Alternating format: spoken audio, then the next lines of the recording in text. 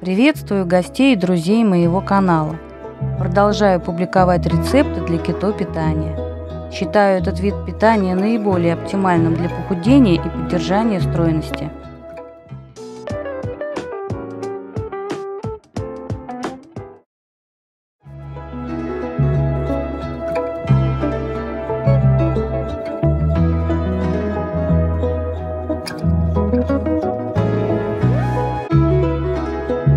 Вместо клубники можно использовать любые другие ягоды. Если у вас есть симптомы синдрома раздраженного кишечника, замените ягоды на фрукты, предварительно очищенные от кожуры, такие как абрикос или персик. Если ваша цель быстрее сбросить вес, или у вас есть заболевание, при котором показана строгая кетогенная диета, отношение жиров к белкам и углеводам должно быть не менее чем 3 к 1. В этом случае фрукты из рациона вам следует исключить, а количество овощей свести к минимуму.